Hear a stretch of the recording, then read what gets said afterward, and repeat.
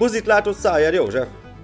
Most érkezett a hír, mivel ráfolyt a sor a laptopomra, hogy az alapító honatja egy buzibaszó brüsszeli buliból benarkózva próbált menekülni a rendőrök elől az Eres csatornán át, amikor rájuk rúgták az ajtót. Azt még egy hátizsák is volt nála. Ez is csak azt bizonyítja, hogy a buzilobbi már legfelsőbb köröket sem kíméli. Ugyan. Mégis kifanyalodna rá, hogy más férfiakkal paráználkodjon, amikor egy handó tünde szépségű asszony várja otthon. Aki egy gyönyörű nő, és semmiképpen sem úgy néz ki, mint egy kirúzsozott férfi. De mégis hogyan történhetett meg mindez? Egyrészt mindenki tudja, hogy aki buzit lát, maga is azonnal buzi lesz. És ennek a való kitettség nyugatra felé haladva egyre csak növekszik.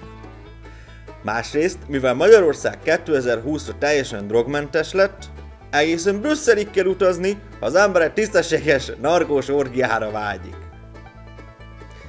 1998-ban Dajcs Tamást még a 16. kerületben is rajta kapták egy masszásszalomban, teljesen szétbekólázva. Aztán néhány hónap múlva meg egy harmadik kerületi kuplarájban, szintén bekólázva. És hát mostanra már a Tomi is áttette a helyét, a székhelyét Brüsszelbe. És tudjuk, ahol a Tomi, ott a buli. Harmad rész meg az vesse rá az első követeki bűntelen. Én egyszer nyertem kaparóson százezret, és egy hétig nem láttam a designertől. Kizoltam a konyha közepére, belefeküdtem, az hóangyalkát rajzoltam.